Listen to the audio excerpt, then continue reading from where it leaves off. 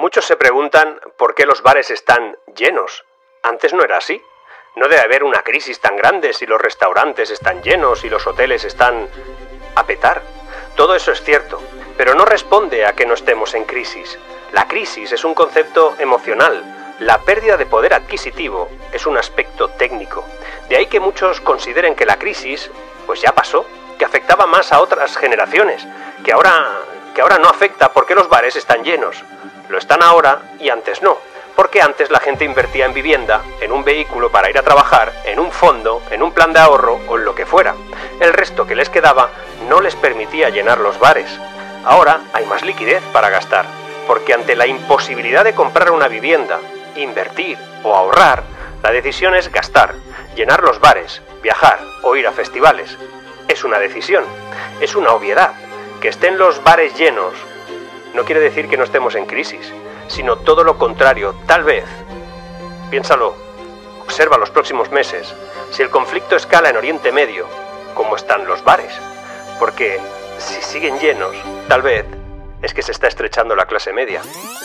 Los mercados financieros se enfrentarán a la nueva semana, que empieza mañana, preocupados por la geopolítica, con mucho en juego sobre si el ataque sin precedentes de Irán a Israel durante el fin de semana desencadena en rondas de represalias por parte de Israel, con los inversores ya inquietos por la inflación persistente y la perspectiva de tasas de interés altas por más tiempo, pues la escalada de la crisis en, medio, en el Medio Oriente pues está configurada para inyectar nueva volatilidad cuando se reanude el comercio. Cuando jamás atacó Israel en octubre, el mayor temor para muchos participantes del mercado era que Irán finalmente entrase o fuese arrastrado al combate.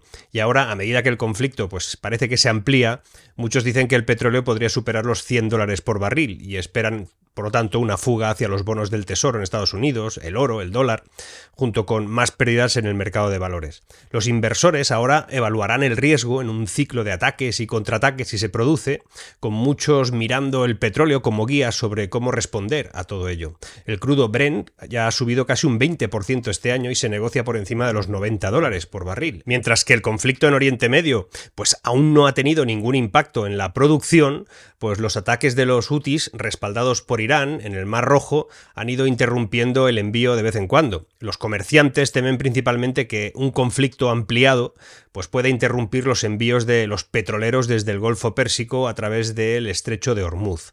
Un pico, por cierto, en los nervios, que aún puede ser moderado por la declaración de Irán que hizo de que el asunto puede considerarse concluido y un informe que indica que el presidente Joe Biden le dijo al primer ministro Israel Benjamin Netanyahu que, que los Estados Unidos no apoyarían un contraataque israelí contra Irán. Aquí todo el mundo está a la que salta o a, un compás de espera. Bitcoin además ofreció una visión temprana del sentimiento del mercado. Por cierto, el token de Bitcoin se hundió casi un 9% tras los ataques del, de ayer, del sábado, solo para recuperarse durante todo el día de hoy y cotizar ahora por encima de los 64.000 dólares. Y los mercados de valores en Israel, Arabia Saudita y Qatar pues registraron pérdidas modestas bajo volúmenes de negociación muy reducidos, eso sí. Y las preocupaciones sobre la agitación en la región pues también se han filtrado ahora ya a mercados globales. El SP500 está saliendo de su mayor caída semanal desde octubre debido a la inflación más alta de lo esperado y los decepcionantes resultados de las entidades bancarias. Bien, en el mercado de bonos, los comerciantes evaluarán el riesgo de que las facturas de energía más caras pues van a agregar temores inflacionarios que ya son existentes, mientras que los bonos del Tesoro tienden a beneficiarse en estos tiempos de incertidumbre. La amenaza de tasas de interés altas pues va a limitar según qué movimientos. Y eso es hasta ahora, porque de momento no sabemos nada sobre los futuros y acciones de bonos en Estados Unidos, que abrirá a las 6 de la tarde dentro de unas horas en Nueva York. Y además, mientras tanto, pues sabemos que el oro se tambalea, aunque ha estado al alza, ganando un 13% durante todo este año, llegando a los 2.400 dólares la onza. Los inversores pues también han estado buscando la estabilidad del dólar estadounidense, cada uno invierte donde quiere, un índice de la moneda que subió un 1,3% la semana pasada y tuvo el mejor desempeño desde el 2022. Y lo bueno, entre comillas, es que Irán advirtió sobre el ataque con bastante antelación. Escuché a Baños, a Cocho ayer por la noche en el directo de Gisbert y dicen que se hizo de manera para minimizar bajas. Y es que Irán está tratando de desactivar esto y también lo está haciendo Estados Unidos, cada uno por su lado.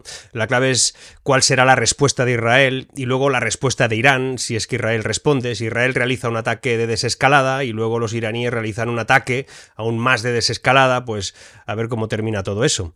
La guerra de Israel contra Hamas pues está al borde de explotar en un conflicto más amplio. Estamos ahí, no lo sabemos del todo, después de que Irán, como hemos sabido, respondiera durante la pasada noche a ese supuesto ataque de Israel a principios de este mes contra el edificio consular iraní en Siria, que mató a 12 personas, incluido el general de alto rango, un general de alto rango de la Guardia, que una vez eh, comandó la propia fuerza expedicionaria de los Quds allí. Las preocupaciones en Medio Oriente pues, se intensifican ahora después del ataque de esos 300 misiles balísticos y drones contra Israel. No sé exactamente. Bueno, dice Hagari que fueron 170 drones y 30 misiles de crucero y que ninguno de los cuales entró en territorio israelí, agregando además que se dispararon 110 misiles balísticos y pocos de ellos alcanzaron Israel. Eso es lo que sabemos de momento, lo que se ha sabido y que el presidente de Estados Unidos el viernes anticipó ya el ataque iraní contra Israel, lo calificó como probabilidad de más pronto que tarde, acordaros que eso lo dijo, y advirtió a Teherán que no procediera. Israel no se atribuyó la responsabilidad del ataque aéreo del 1 de abril, pero el líder supremo de Irán, el ayatolá Ali Khamenei, dijo que Israel debe ser castigado y será, eso es lo que dijo, por una operación que él consideraba el equivalente a un ataque en suelo iraní. Esa es la situación. Dice, pero ¿cuál es el estado actual a estas horas? Pues que el ministro de Relaciones Exteriores de Israel ha amenazado con que las fuerzas de su país atacarían directamente a Irán si la República Islámica lanzaba un ataque desde su territorio contra Israel. La diplomacia. Los comentarios llegaron después de que el líder supremo de Irán, el ayatolá Ali Khamenei, como os decía, reiteró una promesa de represalia contra Israel por el ataque del consulado de Damasco a principios de este mes y que además eso se em, replicaría si Israel respondía. Y el secretario de Estado de Estados Unidos, Anthony Blinken, incluso le pidió al ministro eh, de Relaciones Exteriores de China y a otros homólogos que, para que pudieran usar su influencia y disuadir a Irán de atacar a Israel, pero no ha surtido efecto. Y después de los ataques, países como China y la India pues pidieron moderación, Rusia, Alemania, Gran Bretaña, todos, el mismo jueves ya instaban a los países del Medio Oriente a mostrar moderación. También sabemos que muchas aerolíneas líneas, incluidas también las de la India, que en esto son importantes, pues han evitado el espacio aéreo iraní estos días. Y además hay refuerzos de tropas de Estados Unidos, aliado de Israel, que se dirigen a la región eh, ya el propio sábado, con temores de una guerra más amplia en, en su crecimiento. No sabemos si siguen yendo para allá, se han parado, se han dado la vuelta. El expresidente Trump de Estados Unidos dijo en una conferencia el viernes que la guerra de Israel contra Hamas en Gaza podría escalar a una guerra mundial. Dijo que el presidente Biden no sabe lo que está haciendo y a pesar de estar en desacuerdo con Israel durante décadas, Irán nunca atacó directamente al país. Eso es lo que sabemos, pero durante este fin de semana pues lo hizo. Pero exactamente qué sucede a continuación. Lo que suceda dependerá de cómo Israel elija llevar a cabo su represalia por el ataque iraní. No sé, nuestra respuesta, dijo, será mucho mayor que la acción militar de esta noche si Israel se represalia contra Irán. Eso lo dijo el jefe del Estado Mayor de las Fuerzas Armadas, un tal Mohamed Bagheri, a la televisión estatal, no sabemos si es propaganda o es realmente una amenaza, agregando que Teherán ya advirtió a Washington a través de Suiza, son los conductos que se utilizan, que cualquier respaldo de represalias israelí contra Irán resultaría en que bases regionales de Estados Unidos pasarían a ser objetivo militar. Si bien existe una fuerte posibilidad de que estalle un conflicto más amplio entre Irán e Israel, hay varias maneras en que esta situación podría desarrollarse ahora, y no todas plantean el mismo riesgo de escalada. Según algunos expertos con los que he hablado durante el día de hoy y otros que he podido leer, pues eh, no está claro todo esto. David Kalka, que es especialista en Medio Oriente del think tank francés Fundación Jean Jaurès, ha dicho esta mañana que el hecho de que ninguno de los gobiernos involucrados quiera provocar una escalada no necesariamente protege todo esto de un estallido en una crisis a gran escala. Dice que los errores de cálculo son completamente posibles y la disuasión tiene un aspecto eminentemente psicológico. Los beligerantes, los que están en esta historia, están a merced de cualquier error, resbalón, que podría causar una serie de consecuencias en cascada, y eso habría que tenerlo en cuenta. Ya veremos. Ahora bien, ¿qué pasará con la economía? Independientemente de todo esto, ya tenemos un lío importante. Resulta que el comandante de la Marina de la Guardia Revolucionaria de Irán, Alireza Tansgiri, tiene nombres fáciles para pronunciar en castellano, dijo el martes que la presencia de Israel en los Emiratos se veía como una amenaza hacia Teherán y que podría cerrar el estrecho de Hormuz si fuera necesario. Alrededor de una quinta parte del volumen del consumo total de petróleo de todo el mundo pasa diariamente por ese estrecho. Y como te decía antes, el petróleo ha saltado al precio más alto desde octubre, mientras Israel se preparaba para un posible ataque de represalias de Irán, un desarrollo que amenazaba con grandes interrupciones de petróleo y de todo en la región. El referente global Bren subió como un 2,7% para superar ya los 92 dólares por barril, un nivel que solo se alcanzó por última vez durante los primeros días de esa guerra. La OPEP ha extendido 2,2 millones de barriles para, al día para mantener la estabilidad del mercado.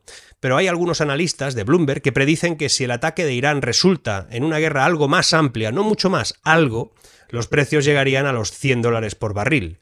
De momento, la preocupación inicial sobre las consecuencias económicas de esta situación, mientras se deteriora en Oriente Medio todo ello, se centrará en los mercados energéticos, ya que la región influye de manera determinante en la producción mundial de petróleo y de gas. Sin embargo, como un factor crucial en la energía global, resulta que los mercados financieros y el comercio, la tensión en Oriente Medio, todo ello alimenta el conflicto de tipo escalado en lo económico y tendrá implicaciones extensas no solo para esa región, sino también para toda la economía global. Ya casi da igual lo que pase. Por ejemplo, se espera que el conflicto ahora incremente la inflación global, introduciendo de nuevo, incertidumbre y desafíos a la agenda de recortes de tasas de interés en la Reserva Federal, en Estados Unidos, en el Banco Central Europeo, en Europa, desde el petróleo hasta los metales preciosos y desde las divisas hasta las acciones, incluso la nueva energía, prácticamente ningún sector puede ser inmune al impacto. Se puede decir que en la era de la globalización, la situación en Oriente Medio ya trasciende las fronteras de los países individuales para convertirse en un desafío global. Y debe ser grave porque el portavoz del Ministerio de Asuntos Exteriores de China dijo el domingo que China insta a la comunidad internacional, especialmente a los países más influyentes, a desempeñar un papel constructivo en el mantenimiento de la paz y la estabilidad regionales. La estabilidad de la región tiene una gran importancia, no solo para que todo siga más o menos igual y el desarrollo económico sea idéntico al global, sino también para la economía china. Para empezar, la región es una fuente importante de petróleo y gas para China, con sus abundantes recursos desempeñando un papel vital en asegurar la seguridad energética de China. Pues bien, una continuación o una escalada del conflicto ambas cosas, en Oriente Medio, podría poner más presión sobre los costos de importación de energía de China, resultando en mayores costos de fabricación y potencialmente afectando su competitividad en sus exportaciones. Y eso nos afecta a todos. Además, en un momento en el que el entorno de comercio exterior de China ya está bajo presión de Estados Unidos y también de Europa, resulta que China, que se ha convertido en el mayor socio comercial para las naciones árabes, recuerda que el comercio entre China y Oriente Medio casi se duplicó entre el 2017 a 2022, pasando de 262 mil millones de dólares a 507 mil millones de dólares, pues en ese contexto, China podría necesitar estar preparada para posibles impactos en esa tensión del Oriente Medio, sobre todo para su comercio, que podría afectar a la demanda de sus productos y las dificultades logísticas para el resto del planeta.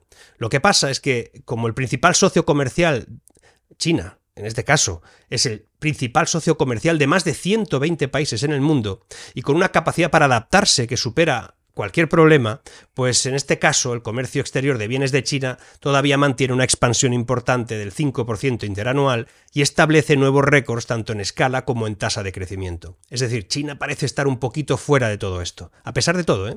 Pero la situación en Oriente Medio plantea desafíos a su economía e impulsa probablemente que participe en una mayor presión en la cooperación internacional para que se promueva la paz y la estabilidad regionales y así salvaguardar el desarrollo económico global que a ellos también les interesa. Pero, ¿y en Europa? ¿Y en España? Pues en Europa, con su ya tensa situación energética, exacerbada por los cortes de los suministros de gas natural desde Rusia debido al conflicto de Ucrania, pues nos encontramos en una posición particularmente vulnerable, los que más.